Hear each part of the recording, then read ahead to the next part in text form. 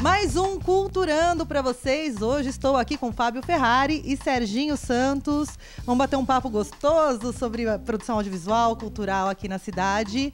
E eu já conheço os dois de longa data, né? Os dois são super envolvidos com cultura. Da onde vocês se conhecem? É, eu e o Sérgio, nós trabalhamos junto no Jornal da Cidade no final dos anos 80. Éramos é, desenhistas e arte finalistas. Né? Dessa época que a gente mantém a nossa amizade. Né? Já tem quase 30 anos aí. E vocês estão com um projeto agora que foi é, do, do programa Estímulo, né? Ele foi premiado no, no programa Estímulo, mas vocês têm um outro anterior também, que é do skate. Vamos começar pelo skate. É, na verdade, o projeto das bandas ele surgiu incentiv é, incentivado, não, inspirado no projeto do skate, que tá, nós estamos tentando contar a história do skate na cidade. Ele está um pouco em stand-by, porque a gente está tocando o projeto de bandas.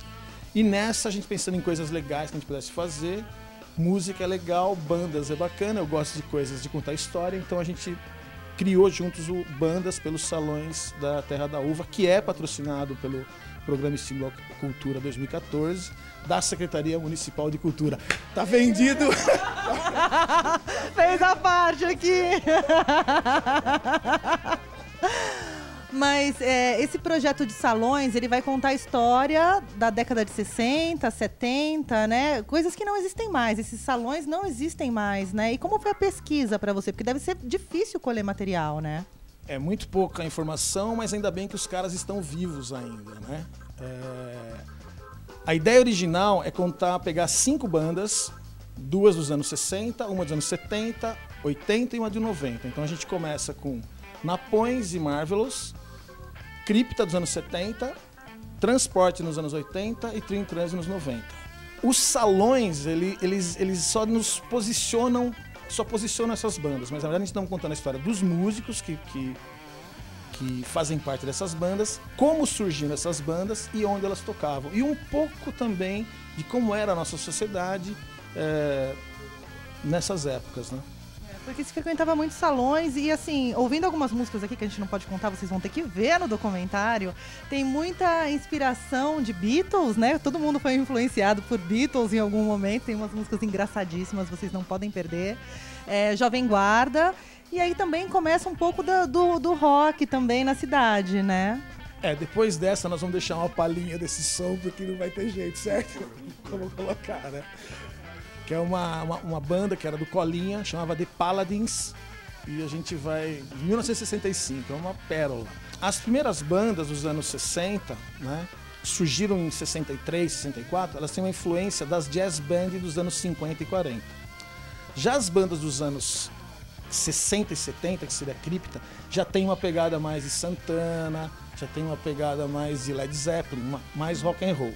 Quando você pega os anos 80, ainda mantém um pouco do, do rock and roll, porém nascendo a, a, a, a música brasileira para dançar.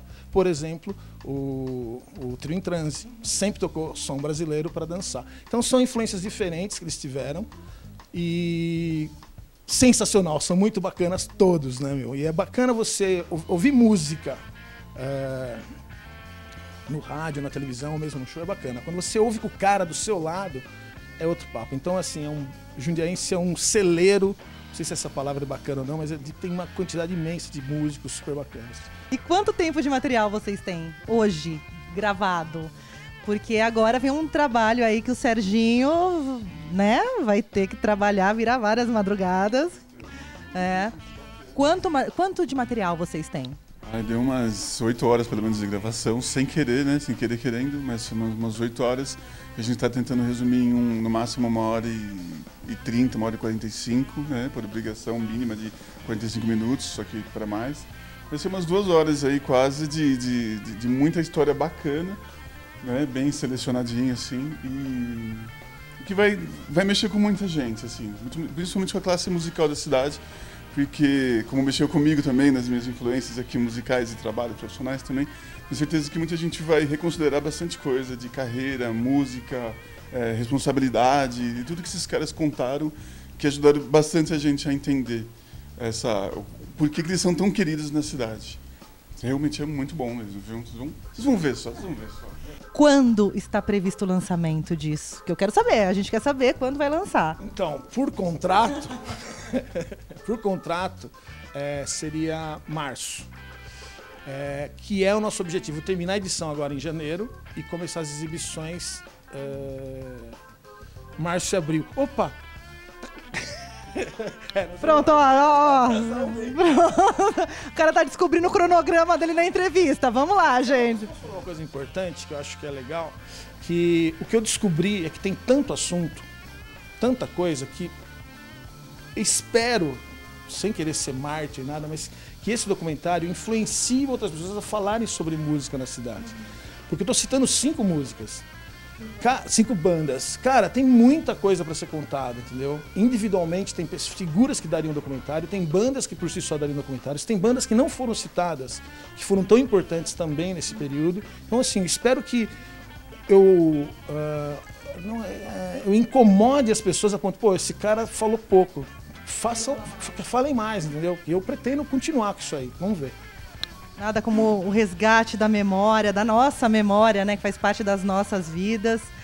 E aonde a gente encontra vocês para os projetos, redes sociais, Snap, né? Tudo. É, a forma melhor de encontrar a gente é no Facebook, bandas pelos, pelos salões da Terra da Uva, onde a gente tem. A gente tem Tem uma fanpage lá. uma fanpage lá, funciona bem, tá sempre bem alimentada. É, então, o me- o melhor lugar é o Facebook. A ferramenta que a gente mais domina é o Facebook, tem tudo lá. Então, se vocês quiserem saber mais sobre o projeto, corre lá no Facebook e persigam esses meninos aqui, que eles têm perfil, perfis no, no Face também. E segue a gente também, canal 8 Culturando, manda beijo, manda like, manda amor, manda notícias, manda, manda música, história.